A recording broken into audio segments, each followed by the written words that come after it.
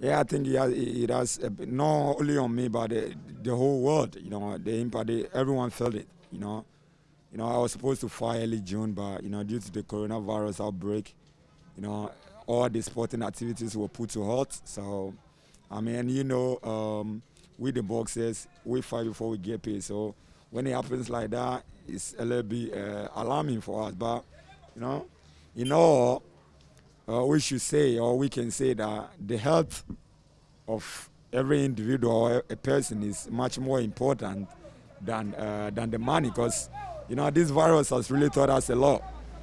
Regardless of all the money you got, if you can't go out, you can't do anything. What's the use of it?